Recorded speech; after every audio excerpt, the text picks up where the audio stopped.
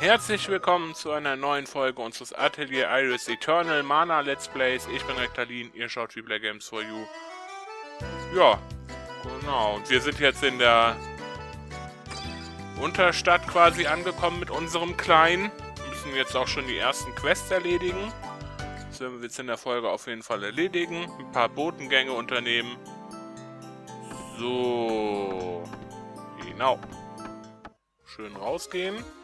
Sollen wir hier oben in dem Magieshop was abgeben? Hat er uns gesagt.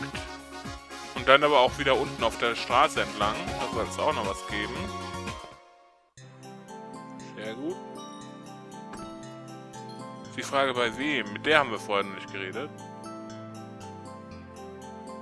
Mit all den Materialien ist dieser Laden besonders gut für die Nachforschung geeignet. Okay. Was mit dir hier?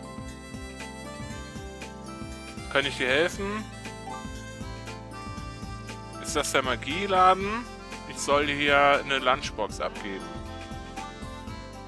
Oh, es ist von Onkel äh, Norman. Danke dir. Abgegeben. Violas äh, Lunchbox. Da hat er nichts zu sagen, der Kleinen. Kann ich hier mit irgendwas helfen? Nur, es ist, äh, also es ist schon in Ordnung. Ich bin nur in all den ganzen Kram interessiert. Bist du auch ein Alchemist? Nee, ich bin es nicht. Äh, wie dem auch sei, ich habe all diese Sachen gemacht. Echt? Also ich nehme mal an, du bist ein Alchemist. Ja, na klar bin ich einer. Ah, interessant. Ja, weiß ja nicht, was er darauf antworten soll dann solltest du äh, Lailas ähm, ja, Groceries, so Alltagswarengeschäft, so, ähm, sie hat äh, viele Sachen, die man angucken kann.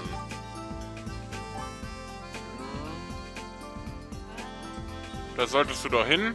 Kannst jetzt gehen. Ja, super und besonders nett. Das ist Street from the Bar. Okay, also es müsste entlang der Straße sein, von der Bar aus gesehen. Denke, da werden wir uns jetzt hinbegeben. Ja. Hier wahrscheinlich, oder was? Was ist das denn? Können wir hüpfen? Zumindest nicht dorthin. Oder meinen die gegenüber der Straße? Vielleicht ist es der Laden hier. Hallo? Ah, das ist diese Laila. Hallo, du bist hier neu, oder? Äh, ja. Ich soll hier eine Lunchbox abgeben. Vom Barkeeper. Abgegeben. Lylas äh, Lunchbox. Leilas Lunchbox. So. Vielen Dank. Sag Mr. Norman, dass ich Hallo sage. Hm, das Mädchen im Magieshop hat mir erzählt, äh, dass du hier vielleicht interessante äh, beziehungsweise dass du hier Alchemiewaren hast. Alchemie, was denn das? Es ist, äh, hast du noch nie von Alchemie gehört? Äh, Viola hat dir das erzählt, oder? Ah, sie hat äh, wahrscheinlich über diese Box gesprochen. Ich hatte eine Box in dem hinteren Raum für eine ganz, ganz lange Zeit eine Box. Da ist eine Blumenvase oder irgendwas in der Art in der Box. Das ist wahrscheinlich, was sie meint. Eine Blumenvase. Ja, es war in der Box. So habe ich mich dazu entschieden, es äh, beides zu behalten. Ich habe echt keine Ahnung, wofür die da sind. Äh, guck's dir doch mal an müssen wir da hinten hin. Meint wohl diese Box hier. Und bekommen haben wir einen Heal Jar. What's, äh, was macht ein Heal Jar hier? Also eine Heilpot oder sowas oder wie? Oh, Popo ist wieder mal da. Ist es nicht eines der... Ist es nicht einer der Gegenstände, die in deinem Buch vorkommen? Ja, es ist ein Mana Gegenstand, äh, hergestellt mit Alchemie und hat heilende Fähigkeiten. Oder Eigenschaften. Gehen wir jetzt? Nur ein Pot, okay. Klein lernte diese Heal Jars herzustellen, diese Heilpots sozusagen. Ich kann so viele machen, wie ich will, solange ich genug Elemente und äh, Mana habe. Äh, Klein kann herausfinden, wie viele Elemente gebraucht werden, um ein äh, Mana-Item zu synthetisieren. Mana-Items können synthetisiert werden mit der Hilfe von erhältlichem Mana oder verfügbarem Mana. Möchtest du dir das äh, Mana-Item-Tutorial ansehen? Ja, das wollen wir. Ja.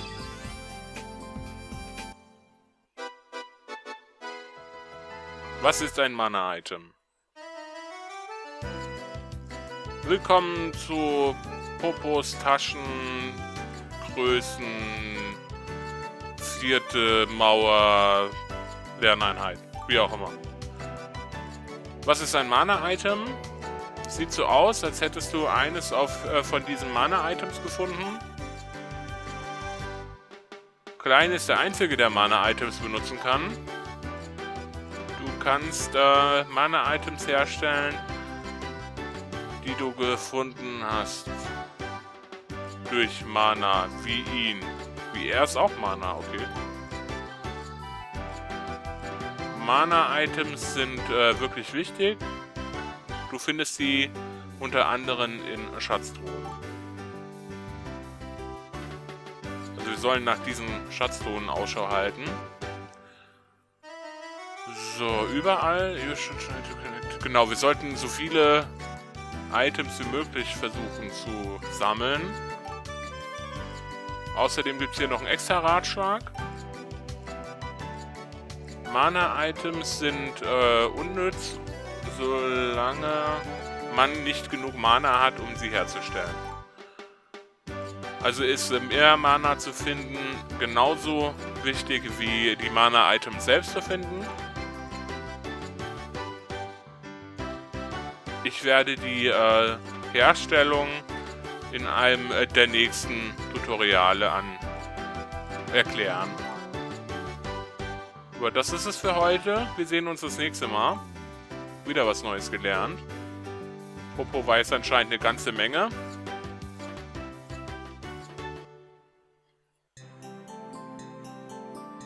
Ja genau, also wir können es uns wieder angucken, ganz normal. Das wissen wir ja schon.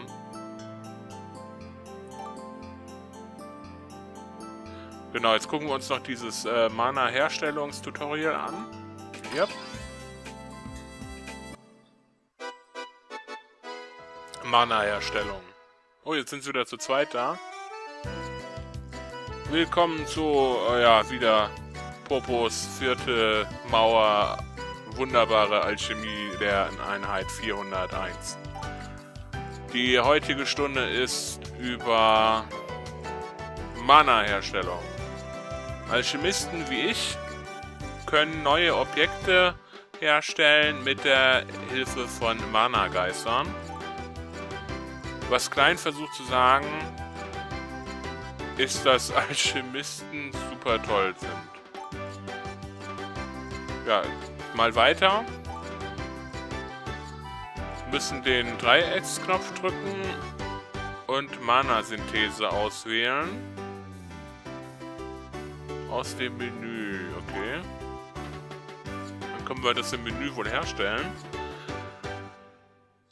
Du kannst ein Item aus der Liste wählen, aber du brauchst genug Elemente, um es herzustellen.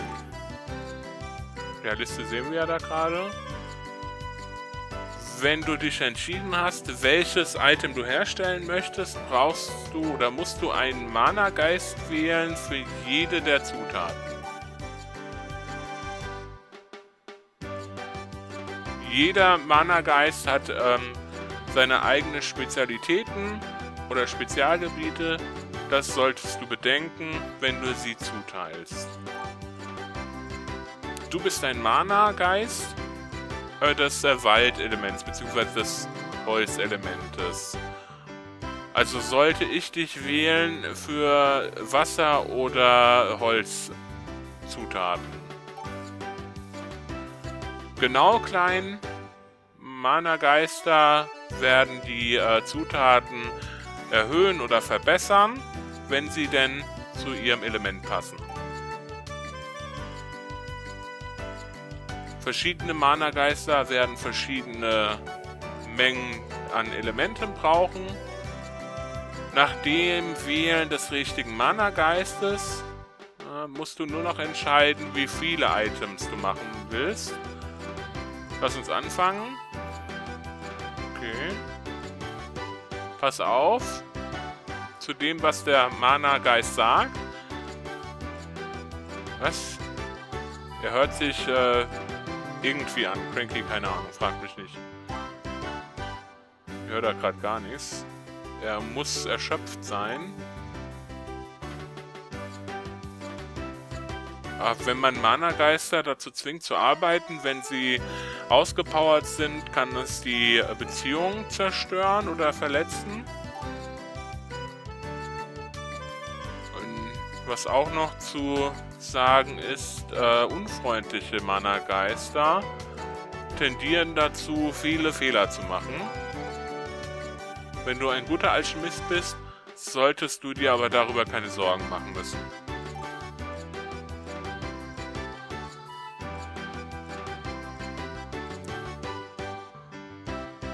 Okay, besser aufpassen, wenn sie so labern. Mana-Geister sind auch Menschen. Äh, um sicher zu sein, lass, die, lass sie sich auch ausruhen, wenn sie müde sind. hey, was ist los? Äh, oder beziehungsweise was passiert, wenn ich denn die Gefühle eines Mana-Geist verletze? Jeder mag Geschenke, richtig? Also Elemente sammeln oder... Nee, genau. Elementar-Items sammeln und den schenken ist wohl das Beste. Die Beziehung wird sich verbessern, wenn du ihnen Geschenke gibst. Und äh, als kleinen Hinweis, er mag wirklich gerne Pflanzen. Oh, habe ich gar nicht gefragt. Du könntest auch netter sein, Klein. Außerdem, da sind äh, einige Vorteile, wenn man äh, freundlich gestimmte Mana-Geister hat. Die könnten dir extra Items machen. Oder du könntest sogar äh, dich in sie verlieben. Okay. Das ist äh, ein Schritt zu weit, Popo. Na, zumindest wissen wir jetzt, dass du mal aufgepasst hast. Also wenn du nett zu den Mana-Geistern bist, werden sie auch nett zu dir sein. Logisch, gesunder Menschenverstand, mehr oder minder. Das ist alles für heute. Wir sehen uns beim nächsten Mal. Danke, Popo, für die Lehrstunde.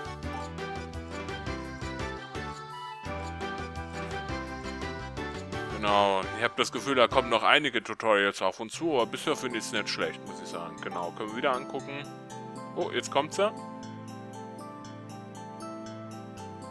Wo hast du dieses, äh, diesen Heil Potion, wo hast du die gefunden? Also war es nicht wirklich eine Blumenvase. Ich hab's, äh, ich habe diese Box am Fuße eines Berges, äh, gerade nördlich der Stadt gefunden. Da sollen äh, viele versteckte Schätze in der Stadt und auf der Spitze des Berges sein.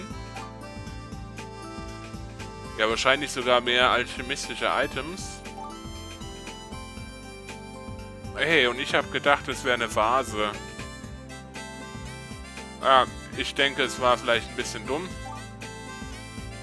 Na, ja, okay, du kannst sie haben, wenn du möchtest. Äh, sieh es als Tausch an für die Lunchbox. Weißt du noch etwas anderes über diese Bergstadt? Ah, es sind alles nur Mythen. Oh, warte. Ich denke, Norm, der Barkeeper, kennt die Legenden sehr gut. Du solltest ihn darüber fragen. Oh, okay, danke.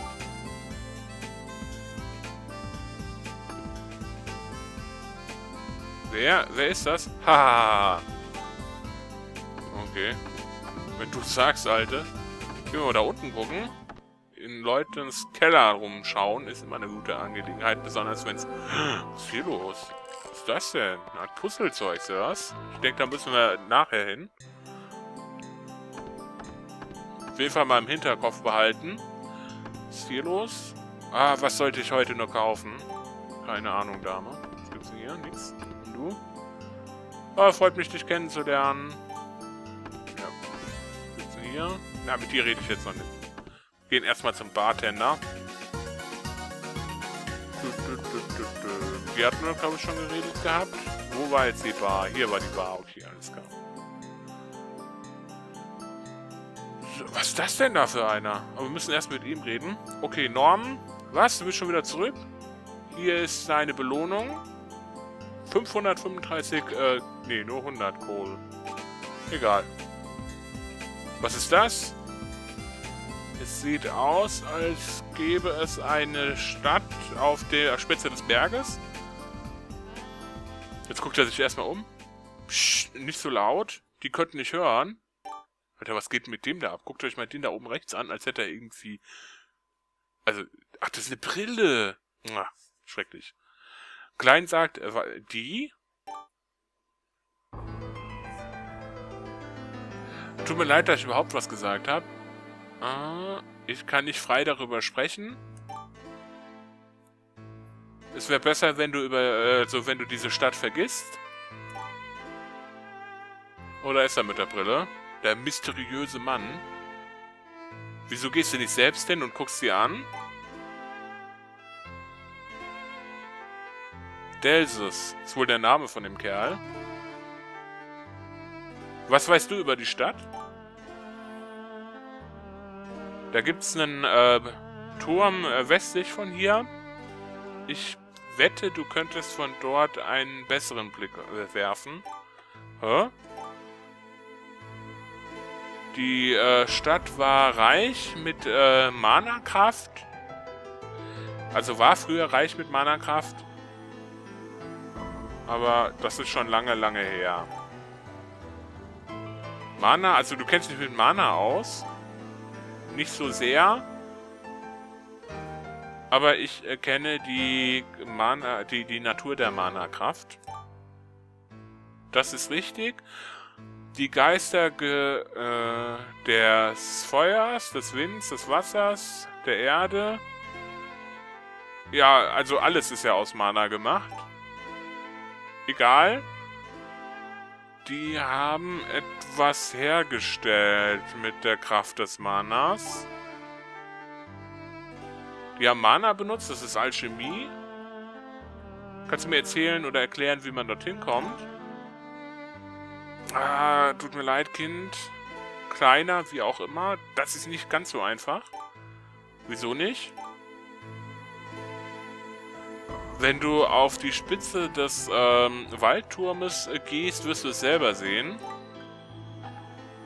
Da hast du äh, möglicherweise die beste Sicht, oder wahrscheinlich die beste Sicht. Du wirst das verstehen, wenn du es gesehen hast. Wir können jetzt zum mysteriösen ähm, Turm von Eifen äh, wandern, reisen wollen wir eine Karte sehen von diesem Turm. Ja, klar. Gucken wir uns mal an. Das ist die Stadt wohl. Wo ist der Turm? Ganzes Stück weit weg. Sieht ein bisschen aus wie ein Vulkan oder so. Das ist ein Riesenturm, ey. Okay. Vielleicht gucke ich mir das an. Haben auf jeden Fall einiges an Informationen bekommen, trotz allem. Hm, ich sollte ein Auge auf den behalten. Also ich kann nicht dafür garantieren, dass es da keinen Ärger gibt.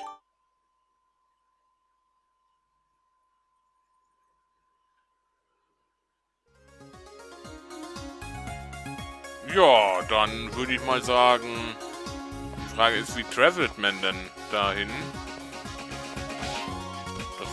Große Frage, die sich mir stellt. Wie können wir diesen Ort hier verlassen und dorthin kommen? Beziehungsweise macht es überhaupt Sinn, dorthin zu gehen? Na, da will ich doch gar nicht. Leute, Leute, Leute. Was macht ihr denn hier mit mir? Gucken, vielleicht müssen wir einfach hier raus. Genau, und jetzt müssen wir hier durch, glaube ich. Ab in die Wälder von Lapis.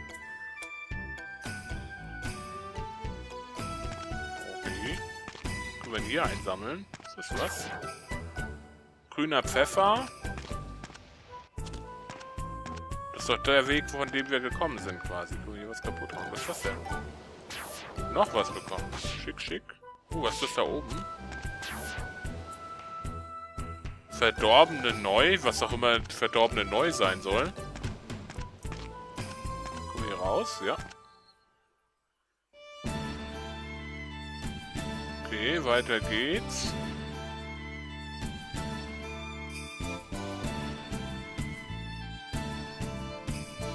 Gerade mal was gucken. Settings, da können wir nichts ändern. Status ändern. Ich wollte mal nachgucken, ob man da vielleicht speichern kann, auch im Menü, wenn man auf der Weltmap ist. Geht aber anscheinend nicht. Jetzt gehen wir hier in den Turm. Der Turm von... Ach, was ist hier los, ey? Können wir gegenhauen oder so? Überhüpfen können wir aber. Kakiri-Nüsse. Hohes Magigras. Wie kann man ja jeden Scheiß einsammeln, ey? Gibt's ja gar nicht. Sollten wir da jetzt reingehen? Okay, wir sind einfach reingegangen. Hoffentlich war es jetzt kein Fehler. Eine Schatztruhe. Und eine Sequenz. That looks like the entrance. Sieht nach dem Eingang aus.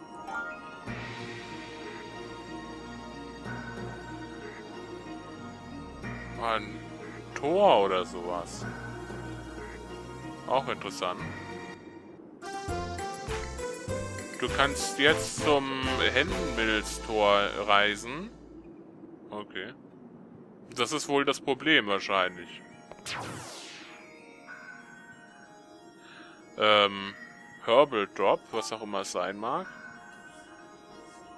Ich kann Mana-Kraft fühlen. Es muss ein Mana-Item sein. Ja, es sieht aus wie ein Herbal Drop, was auch immer es ist. Was macht ein Mana-Item hier oben? Hat dieser Turm irgendetwas mit Alchemie zu tun? Vielleicht hat äh, dieses Mädchen im Magieshop wirklich die Wahrheit erzählt. Ich sollte noch mehr Mana-Items finden, äh, wenn ich mich zu den äh, Bergen vorarbeite. Was ist jetzt los? Achso, jetzt hat er es gelernt. Okay, verstehe. Sieht aus wie ein Zäpfchen.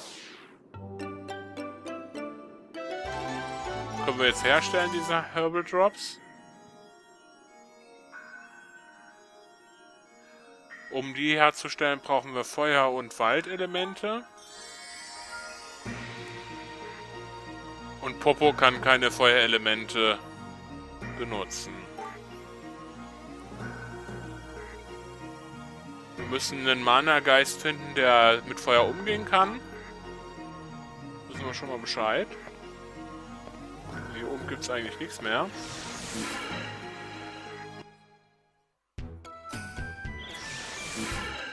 Ah, wieder was einsammeln. Okay. Lauter Zutaten. Uh, was ist da hinten? eine alte Piniennuss äh, Nuss oder wie auch immer. Jetzt gehen wir wieder zurück.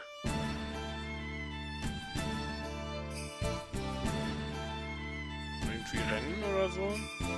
Scheint nicht. So. Ganz schön neblig hier der ganze Spaß, muss ich mal sagen. Ja, ab in die Wälder und einsammeln, was wir einsammeln können. Da oben ist wieder so eine. Nue. Ich hätte können, das letzte Mal neu geheißen hat. Und wie dem auch sei, grünen Pfeffer kriegen wir hier wieder. Hier, was ist das? Alter Rauch. Okay. Was ist jetzt los? Jetzt habe ich zu früh X gedrückt. Okay. Ab nach Karvok. So. Können wir da hochhüpfen irgendwie? Es ausprobieren. Hier gibt es ja trotz allem überall so Sachen, die man nehmen könnte, rein theoretisch. Tatsache. Hier gibt's... Was ist das? 260 Kohle haben wir gefangen. Auf die Blumen können wir aber nicht hüpfen, warum auch immer. Okay. So. Ich denke, einsammeln wird hier das Wichtigste sein. Und das wäre so unsere Basis mehr oder minder. Das wäre einer. Ah, also du machst es nur wegen dem Geld? Das habe ich nicht gemeint. Nee, ist schon in Ordnung. Warum solltest du es tun? Oder warum sollst, solltest du es tun? Gucken wir uns nochmal ein bisschen hier Mana-Synthese an. Vielleicht können wir da ja schon was machen. Bombeis können wir machen, rein theoretisch. Wir haben genug Wasserelemente. Ja. Okay, okay, let's go! Na, dann mal los hier. Machen wir mal vier. Na auf, und jetzt? So funktioniert Alchemie. Yep, smells like cake. Wenn du sagst.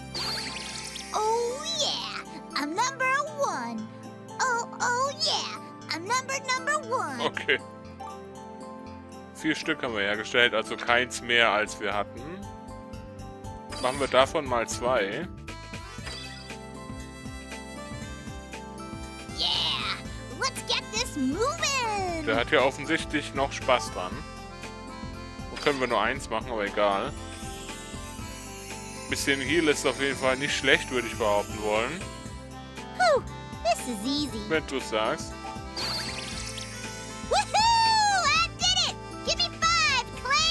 Okay.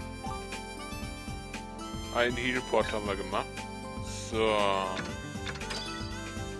Gucken, ob wir ihm was schenken können. Geben wir in dem grünen Pfeffer. Hey, thanks a bunch, Klein, old buddy. Oh, das mag er sogar. Sehr gut. Mal gucken mit der Nuss. Dann kriegen sie auch Energie wieder zurück äh, mit Geschenken. Sind ja ganz einfache Kerlis. So, und würde ich aber trotz allem sagen, dann speichern wir an dieser Stelle. Haben ja doch einiges rausgefunden und gelernt.